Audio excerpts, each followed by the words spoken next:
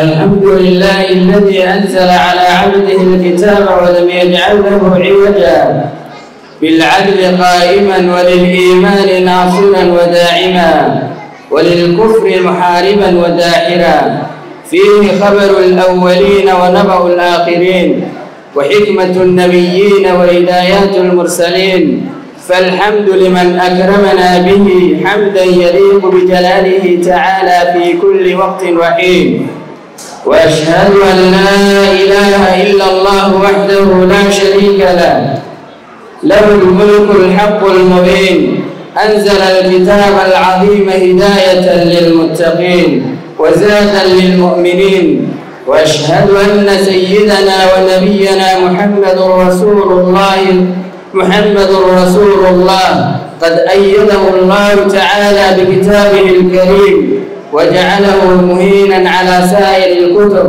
اللهم صل وسلم وبارك عليه وعلى آله وصحبه أجمعين الحمد لله ثم الحمد لله waxa aan u mahad celinaynaa ilaahay iskugu keen keenay goorta barakaysan ee aynu kor ugu qaadayno kitaabka ilaahay oo aynu ku karaabaynayno daa'irteenna waxaan ugu horreyn u mahad celinayaa culamaaodiinta aadka iyo aadka u sharafta badan leh ee majliskan qiimaha badan ay nagala soo qayb galay oo ugu horeeyo fadiilatu sheekh jaabir fadiilatu sheekh bashiir ciga fadiilatu sheekh yaasiin aad iyo aad ayaan idinku mahad celinayna.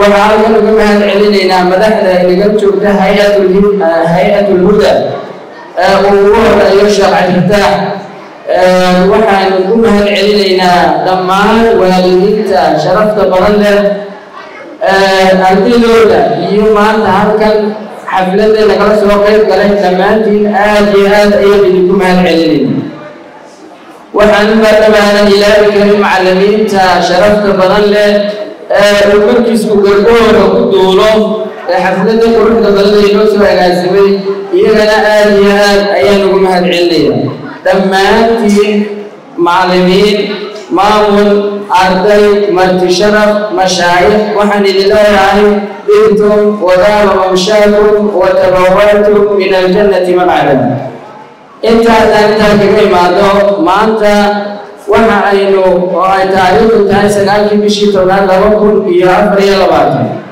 waxaynu halkan u joognaa xafladda markisul iqra oo ka mid ah madaarista hoostaga hay'atulhuda markisul iqra waxaa la aasaasay haddii aan taariikh yaro kooban aan idinka siiyo laba kun iyo shan iyo tobankii ayaa la aasaasay. Muddo sagaal sano ah ayuu markisku aasaasay oo u furan yahay muddada uu markisku furnaa heerar kala duwan buu soo maray. Waxaa ka qalijabiyey dafcado fara badan maanta waxaa qalijabinaysa dufcaddii lixaad. Ayaa halkan ka qalijabinaysa maanta. Xaaliyan markisku waxa uu hoos tagaa oo gacanta ku haysa hay'atulhuda ardayda maanta halkan ka qalijabinaysa ardayda qur'aanka dhammaysatay ee halkan ka qalijabinaysa tiradoodu waxa ay dhan tahay sideed iyo toban arday. Sideed iyo toban arday oo qur'aanka xifdiyey oo shahaadada xifdiga qaadan doona ayaa halkan aynu fadhina qalijabintooda waxaa dheer soddonkaa arday saddex arday oo iyagu qiraa'aadka oo halkan barnaamij aad u qurux badan loogu qaban doono oo khatimadi halkan ay nagu loogu qaban doono ay nagu dul akrin doonaan idinkuna aad arki doontaan insha allah. Intaa waxaa dheer labaatan arday ayaa iyaguna qaadan doona shahaadada shan iyo tobanka iyo tobanka. Waxaa intaa dheer oo iyaguna halkan maanta ku qalijabin doona nambarka ugu badan oo ah ardayda dhammaysatay qoraalka iyo akhriska ama higaada ardaydaasoo tiradoodu tahay laba iyo toddobaatan arday xafladdan maanta halkan u fadhino dhammaan ardayda ka qalijabinaysa qaybahoodu kala duwan. Inaha weeyaan waxaa kaloo halkan lagu abaalmarin doonaa maanta insha allah. Saddex iyo soddon arday oo ka soo kala baxay fasalada markiiska ayaa iyaguna qaadan doona abaalmarino kala duwan insha allah. Markiisku waxa uu haatan tunta saaray barnaamij isku xidhan oo waxbarasho oo leh ka soo bilow alif ilaa qiraa'aadkii. Barnaamijkaasoo horaa markiiska looga bartay in dhexdii ahayd daacamo kala guritaan ku yimid ayaa haatan iskugu xidhan markiiska waxaanu idinku bushaaraynaa in markiiska maanta min alif ilaa cashara qiraa'aad uu xidhiidhsan yahay sanadku oo laga wada heli karo waxa kale oo markiisku uu gacanta ku hayaa oo wax ka barta min lix jir ilaa lixdan jir ayaa ka hawlgala oo wax ka barta. Arday lix jira ilaa waadadin lixdan jiraa ayaa ka hawlgala markiiska oo wax ka barta. Markiisku waxa uu idiin soo kordhiyey insha allahu tacaala oo aanu talagelkeena hadda bilownay oo insha allahu tacaala xaflad inoo bilaabi doona arday khaasa oo iyaguna qur'aanka loogu dhammayn doono muddo kooban oo laba sano gudahood ugu badnaan laba sano. Ayay insha allahu tacaala aanu soo kordhinay oonu sanadka bilaabi doonaa. Barnaamijkii higaada oo ay ogeyneen sida fiicaneen u tayeynay ardayda halkaa fadhida dhammaan kuwa halkaa fadhiya kuwa kale xaggaa fadhiya dhowr iyo toddobaatanka ah muddo kooban ayay u soo dhammaysteen waxay idin arki doontaan insha allahu tacaala oo halkan hortiina iman doona midhihii aanu soo saarnay wax ka mida oo qoraalkii iyo akhriskii halkan insha allahu tacaala hortiina ku akri doona iyagoo dhammaystay min baqara ilaa birabinaas si isku mida u akri doona iyagoo weliba da-dooda aad iyo aad u yar tahay. Barnaamijka igaadoo runaantii xoog u xoojinay wax lafdhabarka waxbarashaduna ilmuhu waxna akriyi karo waxna qori karo. Inta hadduu ka gudbo ilmahaasi wuu soconaya. Barnaamijkaasoo aad iyo aad u xoojinay laga soo bilaabo alif markuu ilmuhu ka soo bilaabo waqti yaroo kooban kaga soo gudbo haddana mustawaa mustawaa ku xigo saddex afar bilood isna uu kaga gudbo hidaadi ku dhammaysto qur'aankiiu sidaa ka bilaabay ilaa toban jis macalinkaas u dhigo labaatanka kale macalinka ku xiga u dhigo tasxiix iyo macalinka kusixiga u sii dhigo qiraa'aadkii tasxiix sidaasoo sii soconaya marka. Barnaamijkaasoo isku xidhan ayaanu ilaahay mahadiyo noo hirgalay aad iyo aad ayaan idinku mahad celinayaa dhammaantiin waalidiinta sharafta badan leh ee halkan fadhido ee mar walba garab keliya taagan ee no dhiiri kula hawlan ardayda aanu gacanta ku hayna inay horoo socdaan aanoon idin kala qaaday dhammaantii waalidiinta aad iyo aad baan idinku mahadcelinayaa ardayda baxaysana waxaan leeyahay mar labaad iyo mar saddexaad hambaliyo hambaliyo wasalaamu calaykum waraxmat ullahi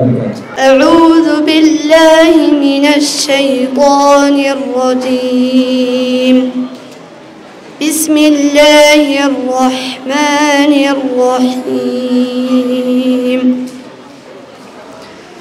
قل هو الله أحد الله الصمد لم يلد ولم يولد ولم يكن له كفوا أحد ولم يكن له كفوا أحد.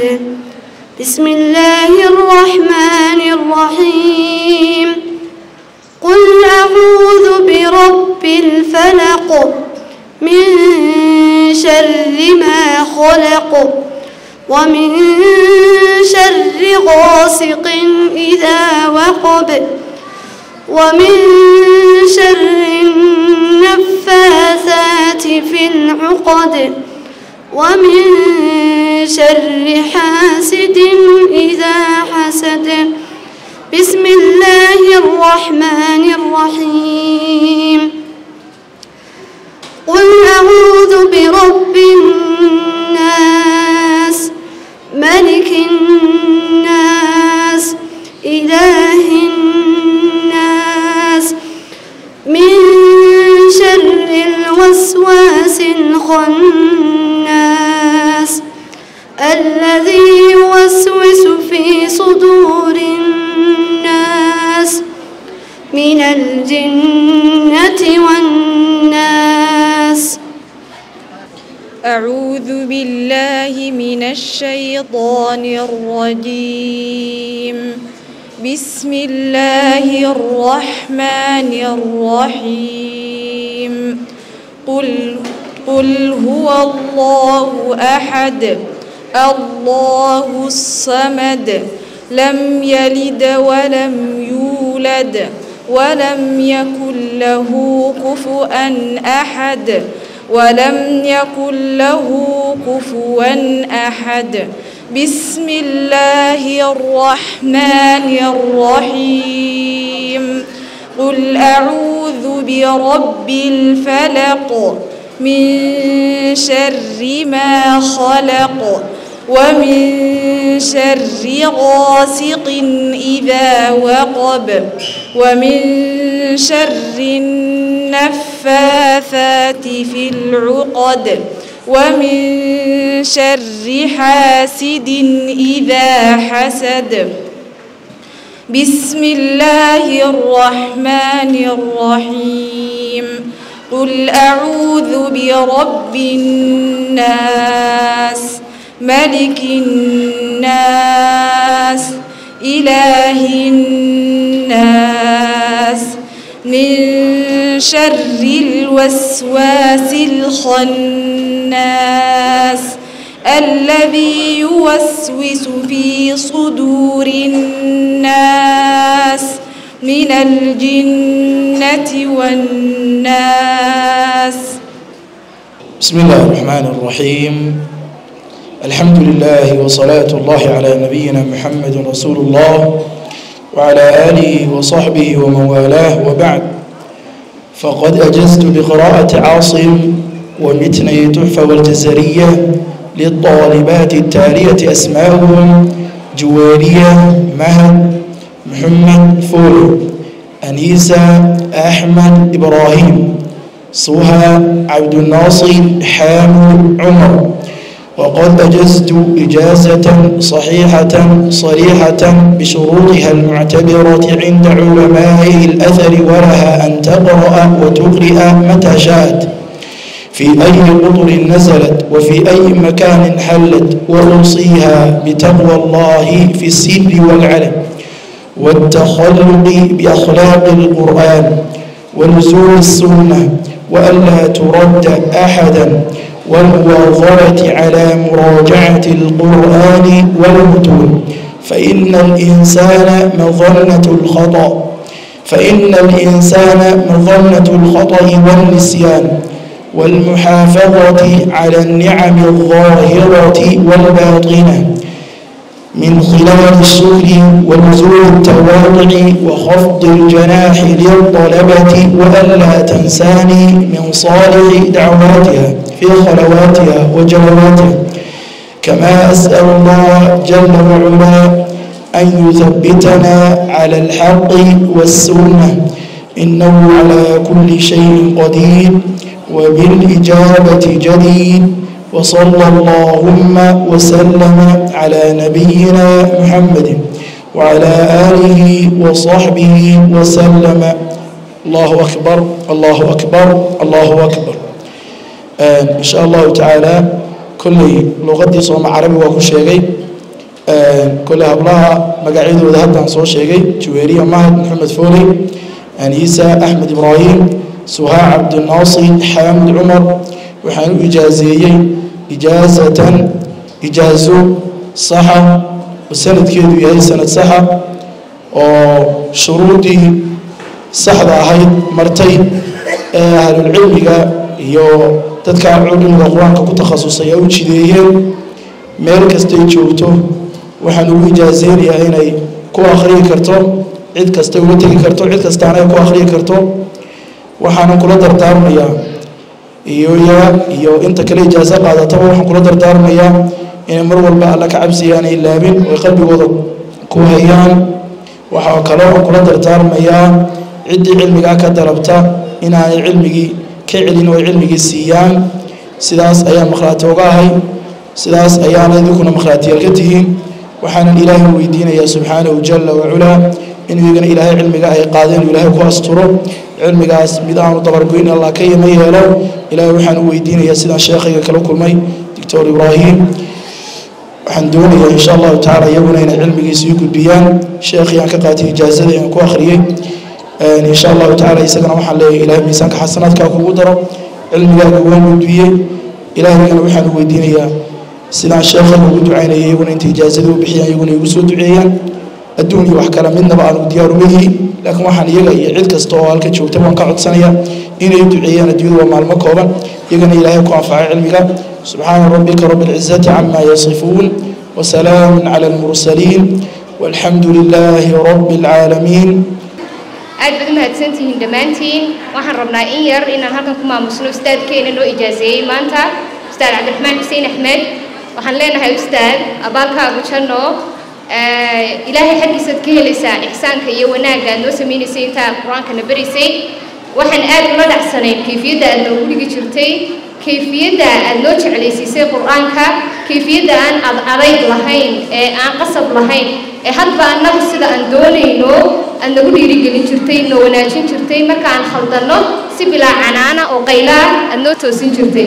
Fajazaaka allahu khayran wabaaraka allahu fiik وشكرا استاذنا الغالي الاسبوع القادم ويك dambe soo socda insha Allah taala inaanu ka hirgelin doono insha Allah taala barnaamijkeena hadda ijaazada oo ka bilaabaya tadriib oo gaari doona insha Allah taala بقسم القراءات إن شاء الله تعالى يشروح ذي متونة إن شاء الله تعالى إن حسن إن شاء الله تعالى وسوق لنا مدنات الماما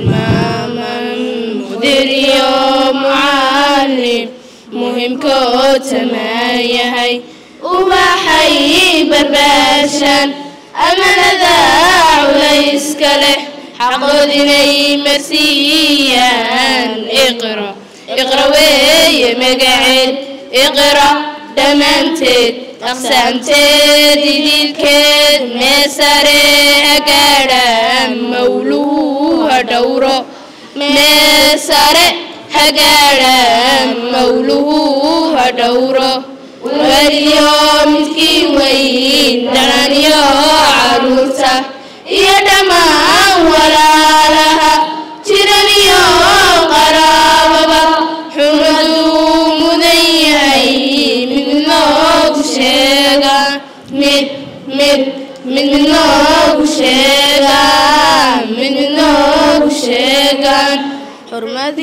hoshtiyo dhishood akhlaaqyo adaab wanaag asturnaan xijaabkiyo asturcan dhammaanteed mas'uuliyadda isaaran mid noogu sheega mid mid mid noogu sheega mid noogu sheega iqra dhammaanteed aqsaamteed idilkeed meesare hagaadha mawluwa dhowro meesare hagaadha mawluwa dhowro sanayo horaan u manne halbeegsanayo horaan u manne hurdada waan ka sa hinee waa hore huban waan lakaan ma hore hamooganin hore u soo gaadhe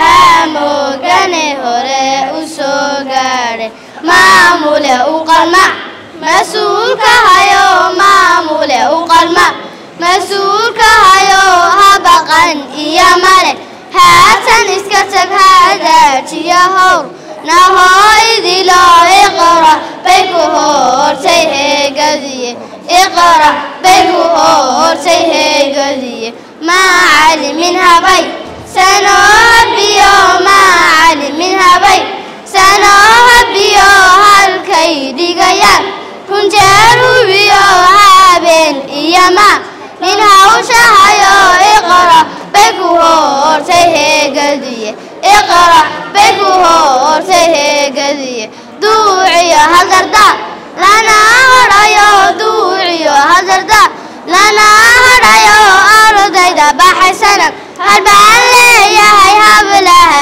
iyo wiil la soo hambadyo hadafkinimaad hesheen maantee hore u socdo ha noqonina hore u socdo ha noqonina allah hodankan hanuunka baryayna allah hodankan hanuunka baryayna diinteena hagaag sanoo habigo haybad iyo sharaf ayay leedahay halbowluwa qur-aanka alle ruuxuu hagayaa sharciga idilow allowna haleeshi tawxiidka allowna haleeshi tawxiidkana الحمد لله رب العالمين الحمد لله الذي بنعمته تتم الصالحات الحمد لله الذي أنزل القرآن وجعله نورا للعالمين ورفعة للمتقين. نحمده حمد الشاكرين ونستغفره ونستهديه.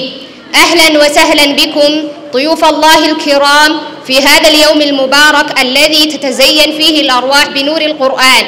وتعتني فيه القلوب بمعاني الرحمة والإيمان. نختفي اليوم بفضل الله ونعمته ونرحب بكل من شرفنا بحضوره ليكون شريكا في فرحتنا بختم كتاب الله العظيم. يا من جئتم لتشاركونا هذه المناسبة العظيمة نرحب بكم ترحيب الناس الذين يعلمون قدر هذا اليوم. فأنتم لستم ضيوفا فقط بل أنتم أهل الكرامة والبركة التي تزداد بحضوركم. نحتفي معكم اليوم بكتاب الله نحتفي بكلمات الله التي كانت زاد الروح ونور الطريق كل آية تلو الأخرى. كانت كسلم نصعد عليه نحو قمة الهدى والنور. ومع كل خطوة خضوتها في هذه الرحلة كانت أنفاسي تحمل الأمل والحب لكتاب الله. واليوم نقف جميعا لنحتفي بقمة الله بنعمة لا تقدر بثمن. وإني في هذه المناسبة الغالية على قلبي أتوجه بخالص الشكر لوالدي العزيزين اللذين, اللذين لم يدخرا جهدا في دعمي ومساندتي خلال هذه الرحلة المباركة. فكم سهرت أمي وكم تعب والدي ليرافقني بحب وثقة. ولولا دعاؤهما ودعمهما ما وصلت إلى هذه اللحظة العظيمة. وأتوجه أيضا بأسمى معاني الشكر والامتنان للمديرة الغالية لهذا المركز الشريف مديرة آمنة محمد التي كانت لنا كالأم الحانية وتوفر لنا كل ما نحتاجه لنكمل حفظ كتاب الله بإدارتها الحكيمة وقلبها الكبير.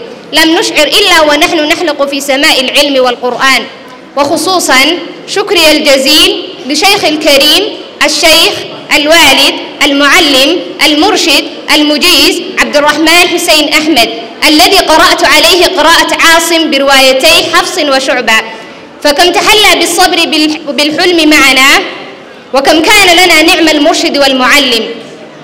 يزرع في قلوبنا محبة القرآن ويوجهنا بالعلم والحكمة. لم يكن مجرد معلم بل كان موجها وداعما في كل خطوة يساعدنا ويوجهنا بصدق وإخلاص. حتى أتممنا القراءة بيديه. أسأل الله أن يجزيه عنا خير الجزاء وأن يجعل ما قدمه في موازين حسناته. وفي هذه اللحظة الأخيرة أبارك لجميع إخوتي وأخواتي حفاظ كتاب الله. فهنيئا لكم هذا الشرف العظيم وهذا الأجر الجزيل. قد حملتم في صدوركم أعظم كلام كلام الله المنزل وصرتم بذلك من خاصة الله في أرضه.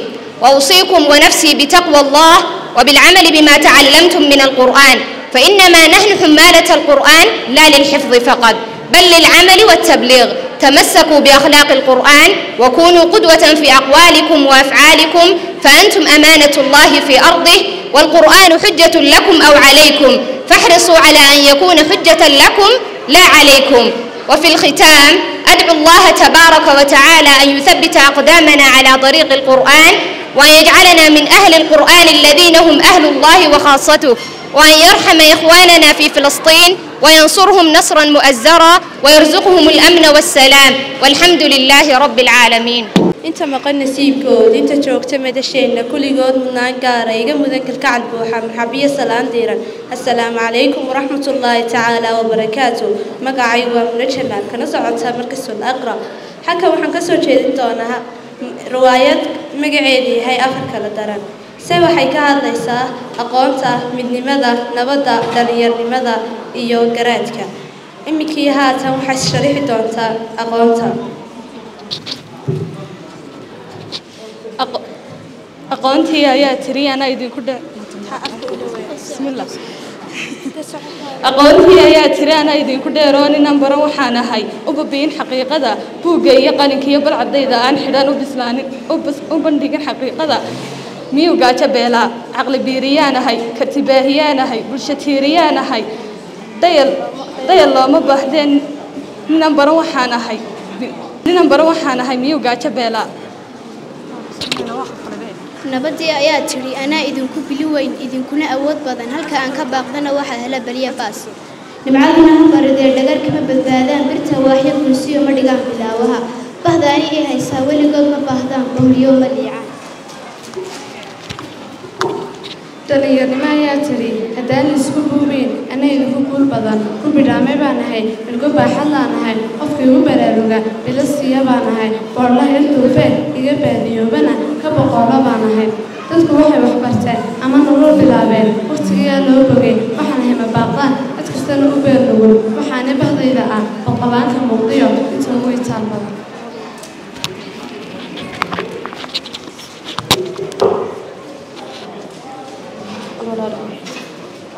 midnimada ayaa tiri saddex been isugu timi xaqa uma bidhaameen inaad baadi socotaan runtii waa badsoodi haddaad bartan keentaan barbarkayga maad iman haddaan la isku biireen talo la beegeen xaqu talo la isku beegeen.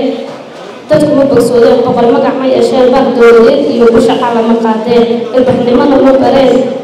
Biyo waxafnaantay ku yimid badweynta buuraha daboolay haddaan aniga la ibara bini aadamka oo wuxuu noqon lahaa bah garaadkii ayaa yidhi marka hore baday baydh bismillaahi eebow gar bislaata keligeed hadaluna badheedhkii ballan dhacay qorshayntii marka xigta barbaaray afartiinan bilanow afartiina bilanow mid kasta baashi ina loo baahan yahay bulshadaa markhaatiya balse baalihii iyo hadduu buuqo yahay sheer midka ayaga bidicda roor ee dhala badhaadhaha bacda aan ka gooye biladda waxa helay midnimada kulanka ah. Bulsha waxay kaxaamtaa marka tala laysu keeno baha isboogsato la helaa badhaadhaha haddaan bidixda lagu kabin midigtu beer ma falatee buuda hadalkaygu wataa.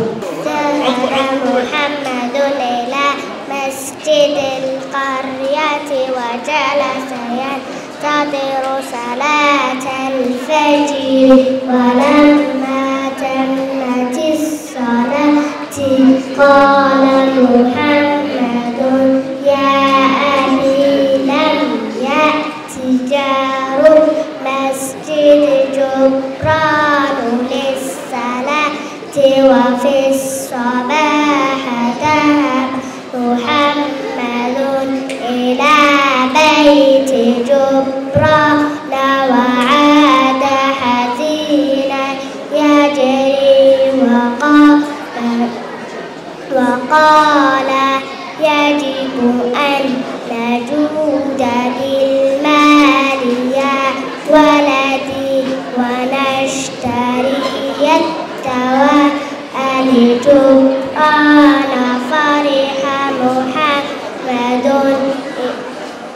فرح محمد. وقال شكرا يا أبي. قال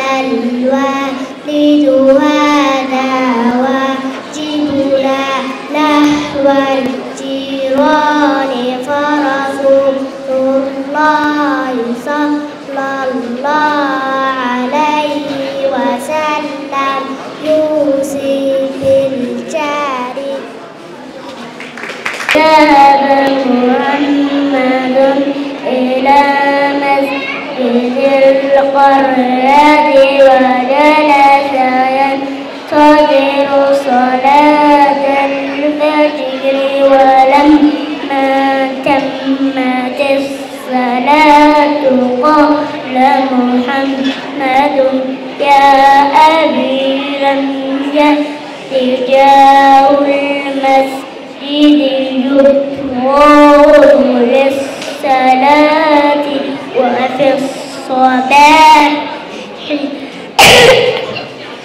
ذهب محمد إلى بيت جبران وعاد حزينا يجري وقال جبران مريض قال الوالد يجب أن نجود بالمال. يا ولدي ونشتري الدواء لجبران فرح محمدا وقال شكرا يا أبي قال الوالد هذا واجبنا ونحو الجيران فرسول الله صلى الله عليه وسلم يوصي بالجاري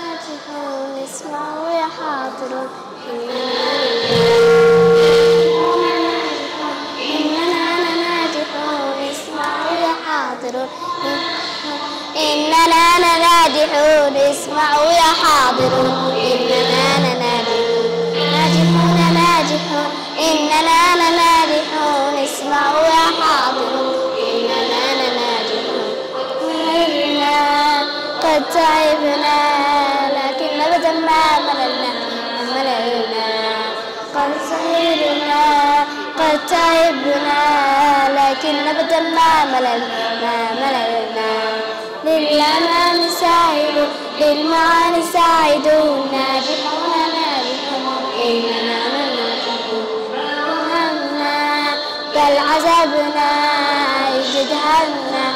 الليل قمنا ما وهنا بل عذبنا جدهمنا الليل قمنا عن مكان سهل قد ما الفخار سهل ناجحون ناجحون ما يحصل جاستر مالي أين كنا سائلون تقيم عنا في الليالي. أين كنا سائلون تقيم عنا أين يشترك للكتاب قارئون؟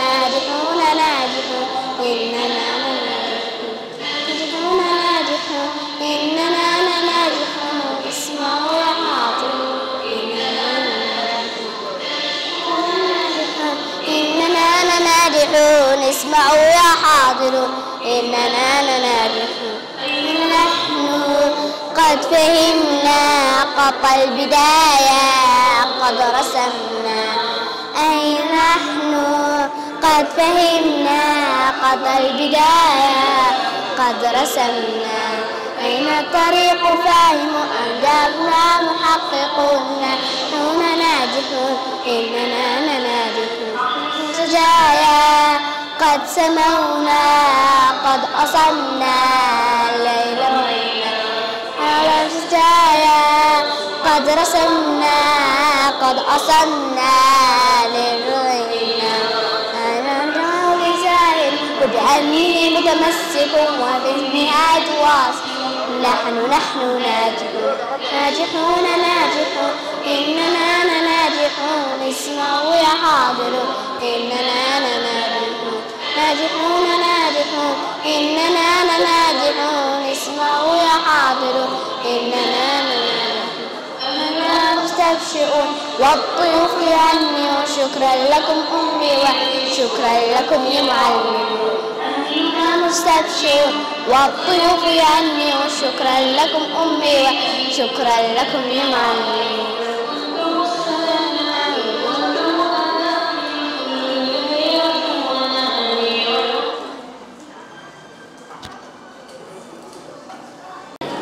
waala aalihi wasaxbihi wasalama tasliiman kaiira ilaahay subxaanahu wa tacaala ayaanu mahadnaqaynaa allaha nicamka faraha badan aan la soo koobi karayn nagu galladaystay sidoo kale waxaynu u mahadnaqaynaa hambalyaynaynana walaallada markaa ka howlgala markaa markastu iqera hadday tahay maamulka macallimiinta ardayda iyo guud ahaan markaa howlwadeennada runtii markaskaa ka howlgala ilaahayna subxaanahu wa tacaala waxaynu uga baryaynaa markas hana qaada oo xilkaa qiimaha badan ee uu ku suntan yahay oo ah markaa baahinta iyo baridda qur'aanka kariimka dadka in la baro ilaahay subxaanahu wa taala inuu u fududeeyo u yasiro kollay goor gaaban hadalkeed gaaban laba eri baan odhan lahaa. Ereyga koowaad waxa uu yahay qur'aanka barashadiisu qiimaha uu leeyahay. Waxaa ogtiin aayaad fara badan oo ku soo arooray qur'aanka kariimka in la barto in la akhriyo in lagu camal falo in laga xukun dhigto in la isku daweeyo qofkii xanuunsada lagu daweeyo inaynu markaa aynu maqalnay in badan. Sidoo kale nebiga calayhi salaatu wasalaam axaadiis fara badan oo ka soo aroortay oo iyana ku saabsan markaa qur'aanka barashadiisa. Sidoo kale waxaynu adduunyada ku aragnaa dadkii qur'aanka bartay oo ilaahay subxaanahu wa tacaala magacooda uu rafciyey dadkii qur'aanka dayacay ee qur'aanka kariimkaa ka tegey oo ilaahay subxaanahu wa tacaala magacoodii aanu markaa rafcin oo aanu magacoodii kor yeelin wayo nebiga calayhi salaatu wasalaam waxa uu yidhi in allaha yarfacu bihada alkitaabi aqwaaman wayadacu bihi aakhariin ilaahay kitaabkan dad buu magac iyo maamuus ugu yeelaa. Dadna magaca magacaa lagaga qaadaabaa nebigu yihi calayhi salaatu wasalaam waxaa qur'aanka ilaahay ku sheegay qur'aanku inuu sharaf u yahay cidda xambaarta. Waxaa nebiga lagu yihi calayhi الsalaatu wasalaam wainahu ladikrun laka waliqowmika wasawfa tus'aluun ilaahay wuxuu inoo sheegay qur'aanku inuu sharaf u yahay rasuulkeenni moxamed ah calayhi الsalaatu wasalaam innagana uu sharaf inoo yahay. Qiyaamahana marka in layna weydiinayo qur'aanka wixii aynu ka yeelnay. Marka runtii qur'aanka barashadiisu waa arrin aad iyo aad iyo aad iyo aad u muhiima. Ay tahay inaynu xil fara badan aynu iska saarno. Waayo ardayga aflaxaa ee xataa adduunyadiisa adduunyadiisa ku aflaxaa waa ardayga markaa qur'aanka barta ee waalidkii qur'aanka ay kula dadaalaan. Waxaana runtii qofka shareecada garanaya bal waalidku waxa uu bal ha sawirto waalidku isagoo dhintay oo hooyadii ama hooyadii ay dhimatay oo inanteedii ay garan weyday hooyadeed say u maydhayso meydkeeda say u maydhayso hadday salaad tahay sida loogu tukanaayo hase haatee qofku markuu shareecada aqoon u yeesho waxa ugu markaa waxyaalaha muhiimku baranaya waxaa ka mid a xaqa waalidkii kala gudboon hadduu nool yahay iyo hadduu dhintaba sidaa daraaddeed runtii qur'aanka barashadiisu macallinka qur'aanka dhigaaya iyo ardayga qur'aanka dhiganaayaba waxaa laga rabaa akhlaaq iyo dhaqan iyo aadaabiyaad. Ayma fara badanna waxay rasaa'il iyo kutub ka qoreen. Qur'aanka barashadiisa qofka qur'aanka baraaya iyo ka qur'aanka baraaya bari baranaya akhlaaqda laga doonaayo. Imaamkii weynaa imaamu nawowi raxmat ullaahi tacaala calayhi kitaabkiisa qiimaha badan ee la yidhaahda atibyaan fii aadaabi xamalati lqur'aan wuxuu kula hadlay xaamilulqur'aanka qofkii qur'aanka mucallin ku noqday ee hore qur'aanka u xambaaray iyo qofka qur'aanka hadda xambaaraya baranaya aadaabtii aadaabtii akhlaaqiyaadka laga doonaayo waxaanuu kow ka dhigay alikhlaas wa islaaxu niya wa tajarud in had iyo jeer qofku camalkan uu qabanaayo ee waxa weeyaan qur'aankan uu dhigaayo qur'aankan uu dhiganaayo niyaddiisa inuu hor ilaahay uu ka dhigo. Ilaahay ajar iyo xasanaad uu kaga doono. Markaa runtii ardayda iyo macallimiintaba waxaanu faraynaa markaa xusnu niya niyadda in la wanaajisto oo wax kale iyo humuum kale qur'aanka inaynan xisaabta iyo sayniska iyo fiiskiiska iyo waxyaalaha kale markaa qofku aad ku fooftagtid arsaaqada aad ku heshid inaanu arrinkeedu ahayn ee qur'aanka inaynu ka dhigano tijaaratul aakhira tijaaradii marka aakhiro oo humuumteenna aakhiro aynu u dhaadhicinno oo humuumteenna iyo hamigeenna ifka laga raro oo aakhiro markaas aynu u rarno waxaa kaga baxaya baaraka allaahu fiikum. Hawsha macallinka qur'aanka dhigaaya u taalla. Waxaa ka mid ah marka laga yimaado ikhlaasuniyaa niyaddiisa inuu wanaajisto ardayda wuxu dhigaaya inuu tarbiyadeeyo oo qur'aanka ka soo bax iyo maad garan iyo halkaa ku jooji iyo casharka shalay waad garan weyda inaanu arrinkiisu aanu noqone inuu xagga tarbiyadda hadday tahay akhlaaqiyaadka ardayga hadday tahay cibaadaadkiisa hadday tahay dhaqankiisa uu markaa ardayga xil weyn markaa uu iska saaro isaguna qof dhaqan fiican markaa uu noqdo. Waxaa la doonayaa macallinku inuu noqdo daaci ahlu khayra miftaax khayrka u ah ardaygiisa raadeeya raadka ardaygiisa uu raadeeyaa waalidkiina raadkaasi uu gaadho. Ilaahay subxaanahu wa tacaala ayaynu ka baryaynaa in markaskan maanta xafladdiisa aynu joogno iyo ardaydan loo xafladaynaayo arday markaa hana qaado oo waalidkoodna anfacda iyaguna is anfaca ifkoodana barakoobo akhiradooduna ay barakowdo. Ilaahay subxaanahu wataaala ha ka yeelo. Wsala allahu calaa rasuuli illahi wacalaa alihi wasaxbihi wasalam. Wbaaraka allahu fiikum. Bism illaahi araxmaan araxiim alxamdu lilaahi rabbi alcaalamiin wsalaatu wasalaamu calaa rasuuli illaahi sala allahu calayhi wasalam ugu horeyn waxaan uma hadlaqayaa allahaas uu keen keenay. Xafladdan been ee boqoran ee sida mugga iyo miisaankale loo soo agaasimay allahaas uu keen keenay waa mahadnaqaya mar labaad waxaan u mahadnaqayaa maamulka iyo macallimiinta markiska marti sharafta ardayda waalidiinta dhammaantiinba waxaan ugu salaamayaa. Salaamta islaamka assalaamu calaykum waraxmat ullaahi wabarakaatu salaadaa kadib ka wasaarad ahaan waxaa noo sharafa inaanu la faraxno la weynayno arday xifdisan kalaamu rabbi alcaalamiin waa shaqadii wasaaradda inaan la faraxno la joogno aada iyo aada loo qiimo badanta markiisu iqra waxaan ku hambalyeynayaa dadaalka weyn ee ay geeyeen ardayda habeen iyo maalin geli geli dambe markiska dadaal weyn baa ka socda oo la taaban karo. Waxaad arkayseen ardayda ugu weeraaye kg-ga waxay noo akhriyeen waad ardayda qur'aanka inoo akhriyeen intay noo akhriyeen waad waxaan ku hambalyaynayaa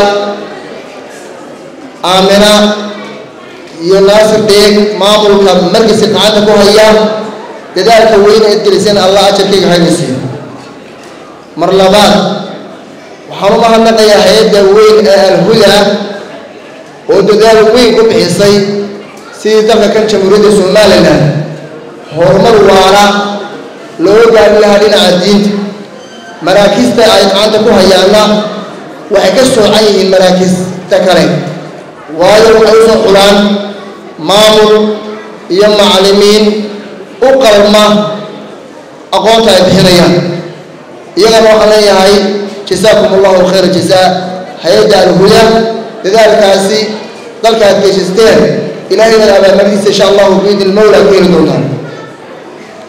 Ardayda markiiskan dhigata kuwa qur'aanka dhameeyey waxaan ugu bushaaraynayaa ardaygooda qur'aanka ka dhameeya markis iqra in wasaara diintii qaafka u tasdiiqin doonto shahaadada xifdiga maadaama oo lagu kalsoon yahay culimmada ahlulaahiga ah ee gacanta ku haya markiskan waxaan ugu soo wejin doonaa shaambadii wasaaradda oo tasdiiqsan oo lagu kalsoon yahay. Waxaan sidoo kale aad iyo aada u baarikayaa cabdiraxmaan xuseen mandeera oo muqri ah oo markiskan ka ijaasaynaya ardayda ijaasooyinka qaadanaya qiraa'aadka aad iyo aad baan qaaliya lagu mahadnaqayaa maadaama oo aad ka mid noqoteen dadku oo aqoonta siiyey isagoo ilaa barco ilaa hargeysa isku mara inaad hesheen nasiib hesheenna waa sharaf kaloo idiin soo heetay isagana waxaa leeyahay jazaaka allahu khayr jazaa ardayda qiraa'aadka loo ijaasaynayna waxaan leeyahay idinkuna sii gaarsiiya insha allahu biidni ummadda kale ee laydin laydinku fasaxay inaad aqoonta dhigi doontaan. Ugu dambayn waxaan leeyahay markiska waa inaad ku soo kordhisaan qaybo kaloo shareeco sida macaahid macad shareeco macad iqra si ardayga qur'aanka ka dhammeeya ee dhigta uu u heli karo in uu shareecadina sii barto.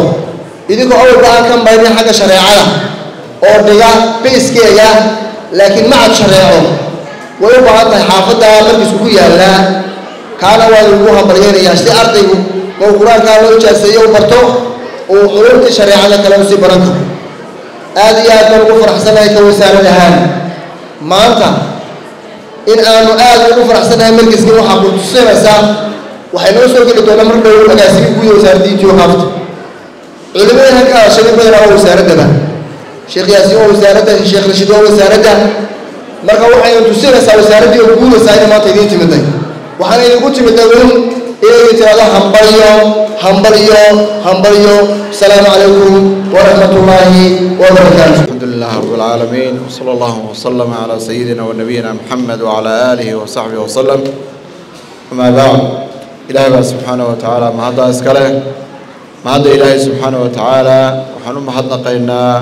markaskeena iqra maamulka iyo macalimiinta dhammaan ayaan ugu mahadnaqaynaa ardayda waalidiinta aada iyo aad baan ugu mahadnaqaynaa.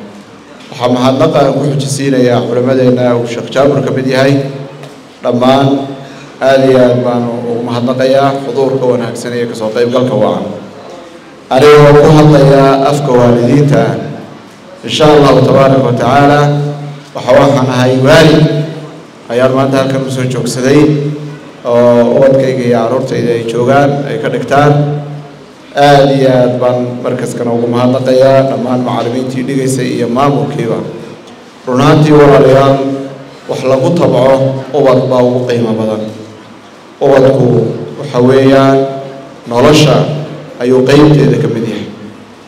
Waayo ilaahay subxaana wa tacaala ibni aadanka markuu abuuray uu ilaahay subxaana wa tacaala koonkan ina keenay ina jirsiiyey innagoo aan waxba ahayn uu inaga dhigay wax wax ah uu inaga yeelay. Inaynu ilaahay garanno oynu ilaahay subxaana wa tacaala aynu garanno oo jiritaankaasi awoodaha ilaahay uu leeyahay aynu garanno oynu ilaahay ugu mahadnaqno waa shay qaaliya shaygana waxaa lagu garanayaa ilaahay subxaana wa tacaala kitaabkiisa qur'aanka ilaahay.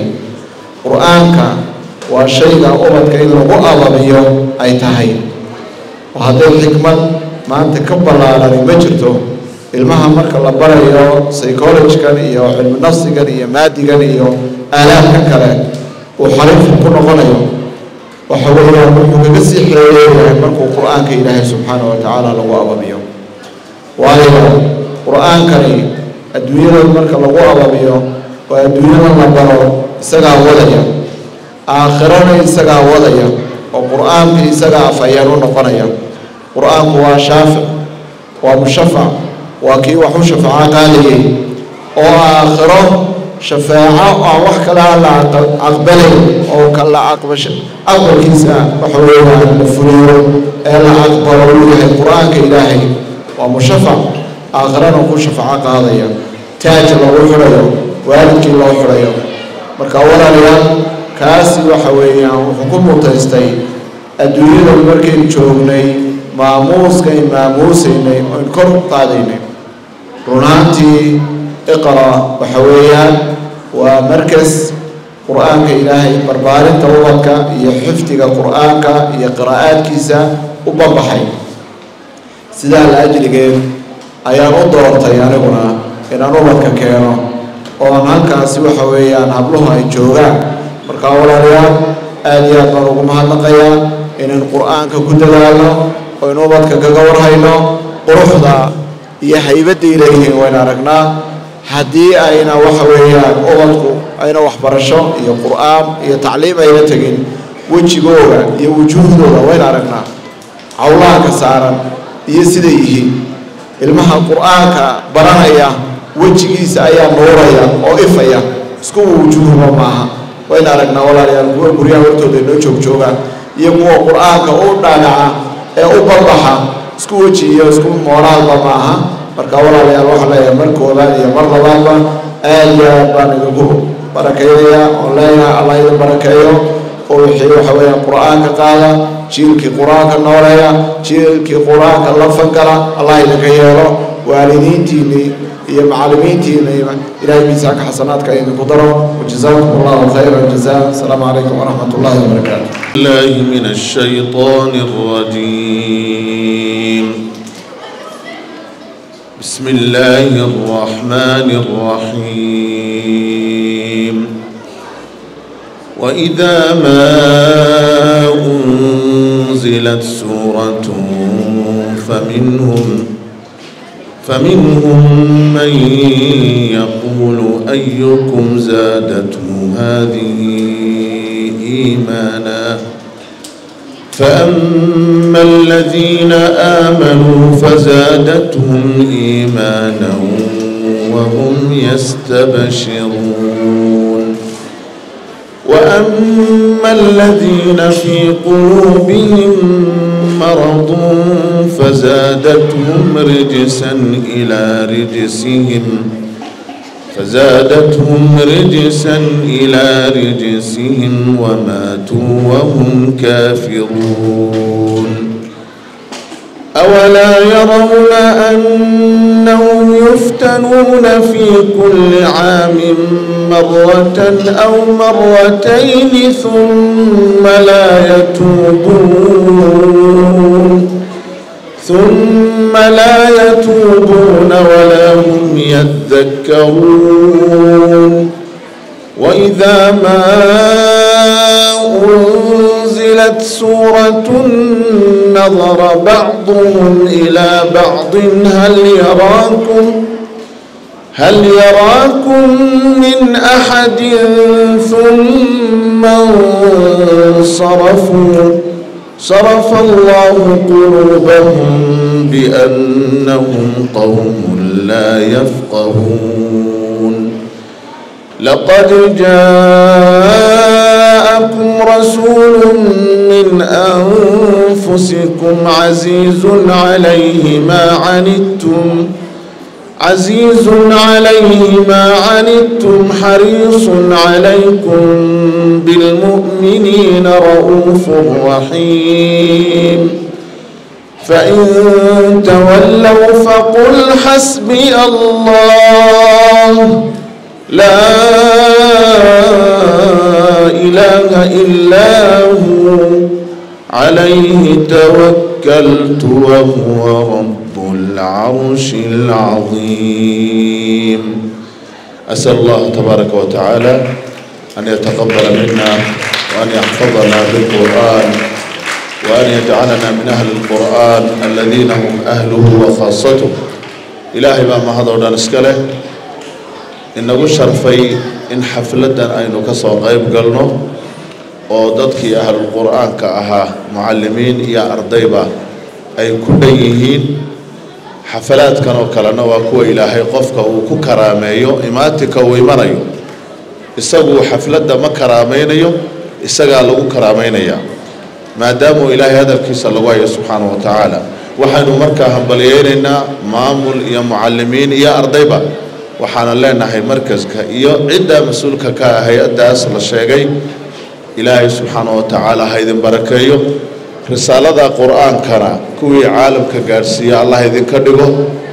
Dadka ee mar kasta ku dadaala kitaabka ilaahay subxaana wa tacaala ilaahay baa cumriga barako u geliya maalka ilaahay baa barako u geliya carruurta ilaahay baa barako u geliya maadaamuu kitaabku uu yahay kitaab mubaaraka siduu ilaahay noo sheegay subxaanahu wa tacaala wa hada kitaabun anzalnaahu ilayka mubaarakun marka waxaanu leenahay barakooba maamul iyo mucalimiin iyo ardayba wasalaamu calaykum waraxmat ullaahi wabarakaatu alxamdu lilah wsalaatu wasalaamu calaa ashraf alambiyaa walmursaliin wacalaa aalihi wasaxbihi wasalama tasliima kaiira wabacd assalaamu calaykum waraxmat ullaahi wabarakaatu ugu horeyn ilaahay tabaaraka wa tacaala baynu mahadinaynaa. Awalan wa aakhiran wa daahiran wa baatinan. Ilaahay baa mahadle tabaaraka wa tacaala. Calaa nicamihi aldaahira waalbaatin marka labaad ilaahay tabaaraka wa tacaala ha ka abaalmariyo maamulka macallimiinta dadaalkaa iyo juhdigaa bixiye ilaahay ha ka abaalmariyo miisaanka xasanaadka allah ugu daro dadaalkaa iyo ardayda iyo ubaxeenna ubadka ay soo saareen. Ilaahay ha barakeeyo. Hay'adda hay'at alhuda ee uu maamulka yahay sheekh cabdalla abiib xuseen ilaahay juhdigaa iyo dadaalkaa meel kasta ay ku bixinayaan tacliinta dacwadda masaajidada madaarista hay'addeennaana allaha barakeeyo juhdi weyn bay hayaan. Ilaahay miisaan alxasanaat tabaaraka wa tacaala hay'addeennana ha ugu daro. In yaroo koobanoo sheekh yaasiin baa fadliga cilmiga sheegay ilaahay ha xafido sheekha cil ee qur'aanka kariimkaahi horta dee waa hadalkii ilaahay waa kalaamullaahi ilaahay baa ku hadlay qur'aanka wax ka fadli badan wax ka sharaf badan wax ka khayr badan wax ka wanaagsan wax ka sarreeya. Ma jiro dee hadalka ilaahay tabaaraka wa tacaala. Dadka waxaa ugu sharaf badan qofka qur'aanka xafidsan. Rasuulkeennu calayhi salaatu wasalaam wuxuu yidhi khayrukum. Waxaa idinku khayr badanba man tacallama alqur'aana wa callama calayhi salaatu wasalaam qofka qur'aankana barta dadkana u dhiga. Waa qofka ugu khayrka badanba ashrafu nnaas khayru nnaas aclamu nnaas anfacu nnaas isagaa dadkana ugu nafci badan walaalayaal qofka qur'aanka kariimkaa dhigaya waa ayaan badan yahay ayaan badana. Qofka qur'aanka kariimkaa dhigaya ama baranayaba labadaba dee ajar ba helaya xata alxiitaanu fi lbaxri xata alxuutu fi lbaxri xata annamlatu fii juhriha calayhi salaatu wasalaam cid kasta xataa way u ducaynaysaa qofkaa shareecada baranaya qur'aanka baranaya culumta shareecada qur'aanka ugu horreeya kariimka culummadii dhammaan aflaxday qur'aanka way wada xafdsanaayeen alimaam albukhaari alimaam axmed alimaam maalik a'immadii oo dhani qur'aanka way wada xafideen marka walaalayaal qur'aanka kariimka ahi waa shayga ugu horreeya alculuumu sharciya culumta islaamka waxa ugu horreeya qur'aanka kariimka. Inaynu baranno in la fahmo hal qodob baa muhiima. Tafsiirkii qur'aanka kariimka. Ardayga dee qur'aanka hala xafidsiiyo laakiin waxa ayaa darro ah macallinka waxa laga rabaa inuu tafsiirka qur'aanka kariimkaana raaciyo. Dee tafsiirkii hala raaciya haddaba ardayga jusca ma xataa waa loo fasiri karaa. Qul acuudu birabbi lfalaq qul acuudu birabbi nnaas qul huwa allahu axad intaa hoose xataa suuratu waduxa ilaa qul acuudu birabbi nnaas tafsiirkaa loo raaciyo ama dee tafsiirka juscama ardaygu isagoo xafidsan dee waa inuu qur'aankii wax ka fahansan yahay laakiin. Hadalkii ilaahay waa inuu wax ka fahansan yahay. Isagoo qur'aanka xafidsan ka hor hadduu mobilka qaadayo isagoo qur'aanka xafidsan dadka hadduu dhacayo ka warram isagoo qur'aanka xafidsan hadduu ka warram wuxuu doono samaynayo walciyaadu billah. Marka walaalayaal tafsiirka qur'aanka kariimka aadna waa loo dhigaa. Xataa meel kasta dee waaba laga helaya xataa isagoo duuban baaba la helayaa. Marka walaalayaal qur'aankii kariimka tafsiirkiiba hadba loo baahan yahay macaanida qur'aanka inaynu fahanno ilaahay haynoo fudaydiyo fahamka macaanida qur'aanka faatixada waa rukni ka mida arkaanta salaada haddana dadka qaar macnaha faatixada ma yaqaanaan. Imanka haddii la idhaha faatixada macnaheeda maa taqaanaa qaar baan garanayn macnaa suurat alfaatix suuraddaa weyn ee ilaahay ugu ammaanayo ee ducada ku jirto ee aliimaanu bilyowmi alaakhir ee macaani badan taqriirinaysa qaar baan garanayn macnaheeda suuraddaa weyn imisa goor baynu akrinaa suurat alfaatix faralka naafilada sunnaha intaasoo goor baynu faatixada akrinaa haddana dadka qaar macnaha ma garanayaan. Marka walaalayaal macallimiinta ha loo raaciyo ardayda tafsiirka qur'aanka kariimka ah waalidkuna de waynu qur'aanka tafsiirka wax ka barto. Waalidkii waxaa laga doonayaa in tahaarada yaqaano salaadaada waa inaad taqaano maxay ku ansaxdaa salaada maxaa jebiya? Soonka maxaa jebiya? Sekada maxaa jebiya? Maxaa farala? Maxaa waajiba? Maxaan waajib ahay? Marka diinteenna muslim baa tahay ee diintaada waa inaad fahanto ilaahay tabaaraka wa tacaala fahamka diinta allahayna waafajiyo. Rabbanaa aatinaa fi اdunyaa xasana wa fi اlaakhirati xasana waqinaa cadaab annaar dembigeenna allaha dhaafo dembigii waalidiintiinna allaha dhaafo. Jasaakum allahu khayran. Wasalaamu calaykum waraxmat ullaahi wabarakaatu alxamdu lilahi rabb alcaalamiin asalaatu wasalaamu calaa rasuuli lah sal alay wasalam ugu horreyn allah subxaana wa tacaala iyo mahad marka xigta maamulka macalimiinta waalidiinta ardayda maraakis aliqra ayaan salaamayaa iyo dhammaan marti sharafta.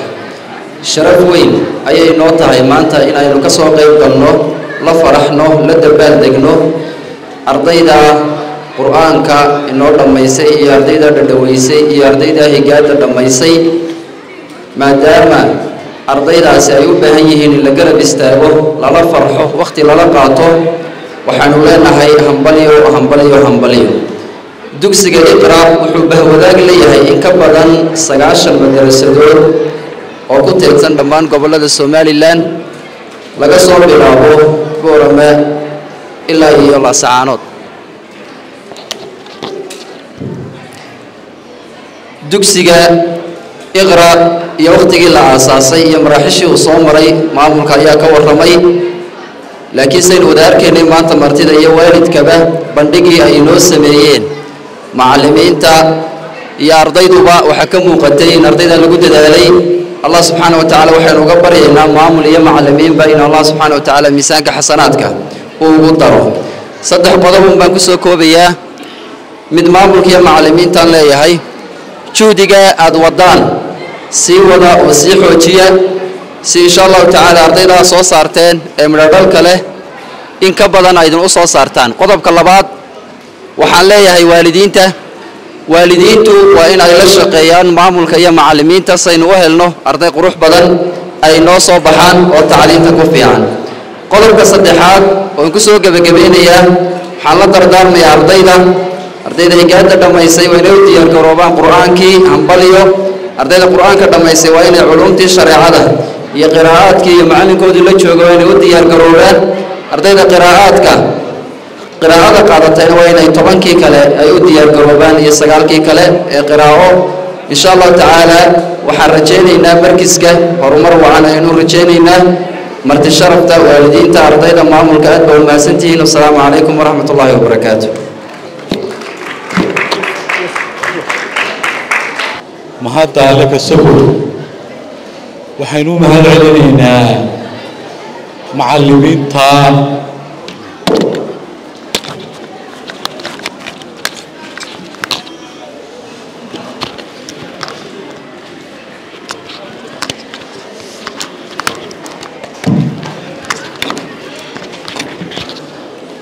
mahad celinayaa allah subxaanahu wa tacaala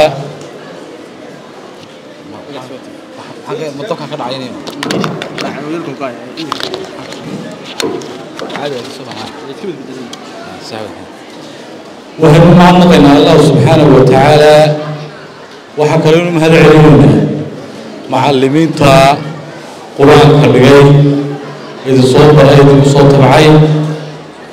Waxaynu iyagana u hambalyaynaynaa aynu farxadda la qaybsanaynaa. Ardayda munaasabaddan ugu sidan tahay ee aayaadka qur'aankaa iyo qowlkii alleh bartay ku soo bandhigay si qiimo leh u soo bandhigay runtii ardaydii qur'aanka akhriyaysay waxaa ka muuqatay in lagu soo tacbay tabac badan la geliyey ay yihiin dad dhisan oo waxa weeyaan qur'aanka sidii la rabay u bartay waxaa kaloo aynu iyagana u mahad celinaynaa waalidiinta sharafta badan ee tacabka soo geliyey awlaadda waxbaray wakhti badan siiyey idinkuna awlaadduna wax lagu tabcaa oo waxa ugu wanaagsan waalidiintuna. Insha allah ilaahay waxaan uga baryaynaa inuu ilaahay ajarkooda ka siiyo.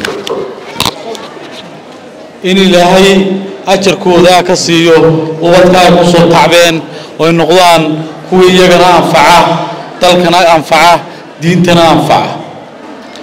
Runtii marka aayaadka qur'aanka la baranayo way ka qiimo badan tahay maadooyinka kale ee la baranayo. Aayaadka qur'aankaahi koonkan waa halkii ugu sarraysay ee lagu maamulayay ee lagu dhaqayay waa aayaadka qur'aankaahi waa rabbi wuxuu soo raaciyey dunida iyo nolosha. Marka inaynu baranno waxa weeye si qiimale u baranno ku faraxno waa inagu waajib maadaamaynu nahay ummad muslimiina. Waxaana mar kasta inagu waajiba inaynu kitaabka ilaahay kor u qaadno iyo aayaadka qur'aanka ah.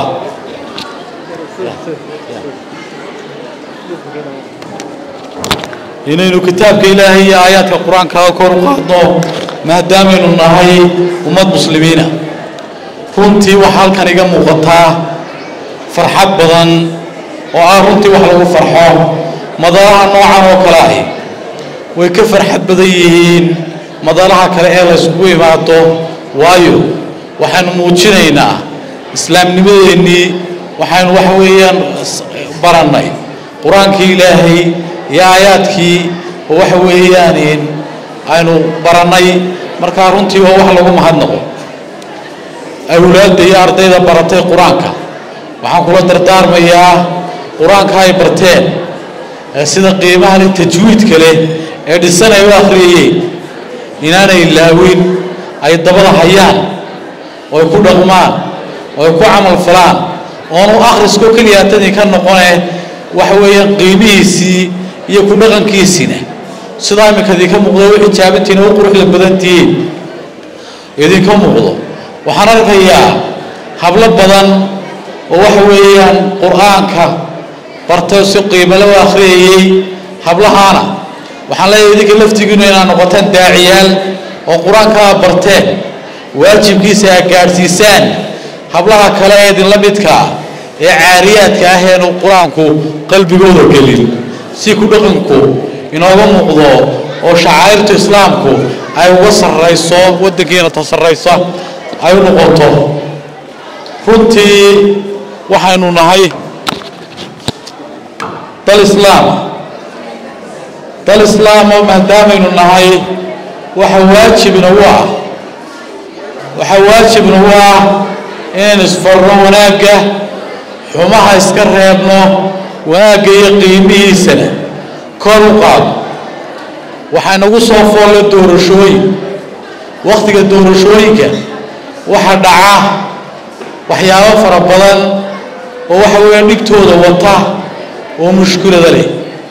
Mushkiladaha laftigooda inaanad idin saamayn oo waxa weeyaan waxaa waxa weeyaan dhaqanka bini aadamka bedeli kara.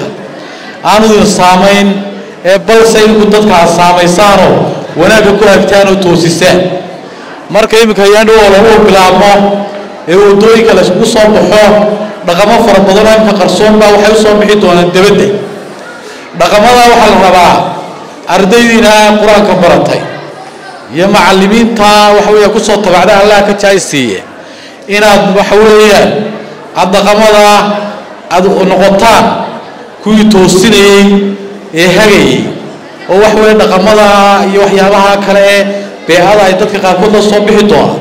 Aanay noqon kuwayna bedela doorashaduna aynu ilaahay ka barino inay khayr noogu dhacdo. Noqotona tii dalka waxu tarta aanay noqon mid dalka waxyeesha oo waxa weeye aynu ilaahay barino dhammaanteen in ilaahay doorashadana khayr noogu khatimo waddankana amnigiisa xasiliyo. Guud ahaan dalkeenna aynu wax ku baranayno cidda leh ee mas'uuliyaddeeda laga rabaa waa innaga waayo inoomay suurto gasheen. Maanta inaad wax barataan oo sidaa quruxda badan qur'aanka u barataan haddaynaan nabadgelyo haysan. Marka waxaynu ku fara adaygaynaa waynu mar kasta ilaalinaynaa nabadgelyada waxaynu la dagaalamaynaa fawdada. Dhammaantiin inaad dalka ilaashataan wax ku soo barateen ee sidaa qur'aanka ugu xafideen ayaa idinku waajib ah runtii hay'adda alhuda. Hay'adda alhuda oo iyaduna runtii tacabka wadan badan waddanka tacab badan gelisay iyagana waxa weeyaan dowladda iyo wasaaradda diinta iyo awqaafta way isku way ka warhaysaa way isku xidhan yihiin. Iyagana waxaanu leenahay dadaalka a haysaan ee waxa weeye tacabkaa waddankaa geliseen iyo khayrigaa ka shaqaynaysaan halkaa ka sii wada ka wasaarad ahaanna waan idinka mahad celinaynaa idinkii hay'aadka kale ee dalka waxgashaday ee manfac ku soo celiya ummadda soo saarayna way idin og tahay wasaaradda diinta iyo awqaafta iyo guud ahaan dalka jamhuuriyadda somalilan runtii madashaa farxadda badan leh aynu maanta iskugu nimi waxaan aada uga dhaco ka helay ardaydii waxa weeyaan iminka qur'aanka akhriyayay runtii waxaa ka muuqata inay yihiin arday dhisan oo macallinku tabac fiican geliyey oo carabka carabkooda iyo tajwiidkoodaba si qurux badan u dhisay. Waxaynu isagana mar kale u ducaynaynaa macallimiinta qur'aanka baray ee tabaca geliyey ee ka dhigay ilmahoodiiyo sida fiican u soo saaray. Iyagana waxaynu leenahay allah subxaanahu wa tacaala ha idinka jisaayi siiyo adduunyadu waa iska koobantahe waxaa idinku ducaynaynaa inta aakhiro ilaahay idinku dibdhigo khayr badan baan idin rajaynayaa. Waktiga ugu yara awgii. Waan idin mahad- waan idin- waan idin salaamayaa. Wassalaamu calaykum waraxmat ullaahi wabarakaatu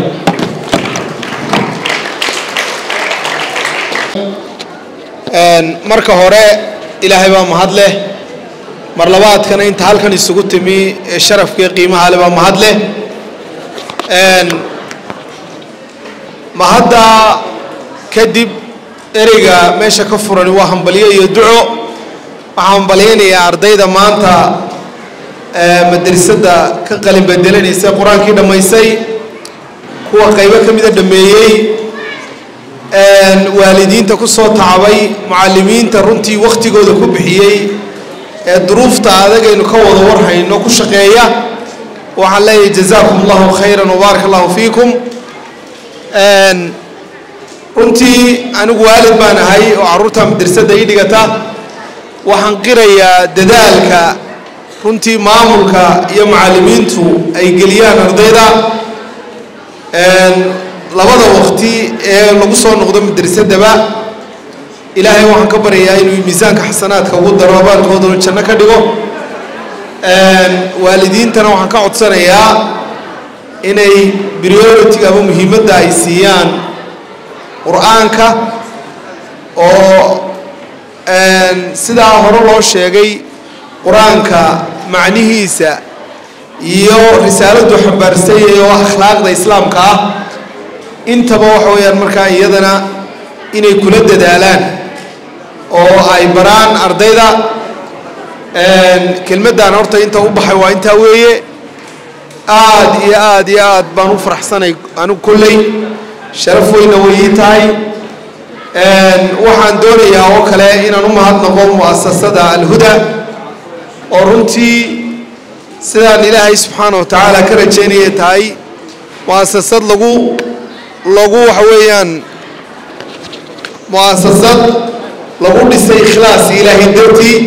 Oo intaasoo waayadood mu'asasadood ama hay'ad khayriyaba intii ay alhudo saa u shaqaynaysay ee saa u guulaysanaysay ee saa u sii weynaanaysay baaba-ay oo dhawaayey wax haddaad aragto baaqi noqda oo midhahooda la arkana waxa weeyaan waa wax ilaahay dartii ikhlaas lagu aasaasay.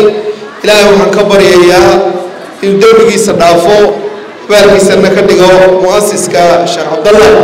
Ilaahay saasaan ka baryayaa muasasada iyo qaayimiinteeda iyo dadka ku howlwadadeedana aad iyo aad baan ugu mahadnaqayaa waanaan u ducaynayaa dhammaantiin ardayda mar kale hambaliyo hambalyo hambaliyo inta kale ku soo dholi jirta ee igsigooda inay halkaa gaadhaan ah. Ilaahay iyagu waxaa ka baryay inuu higsigooda u fududeeyo. Aad iyo aad loo mahadsantiin. Asalaamu calaykum waraxmatullahi wabarakatu asalaamu calaykum waraxmat ullaahi wabarakaatu baxda salaam. Aruntii ilaahay baa mahadle subxaanahu wa tacaala awala waaakira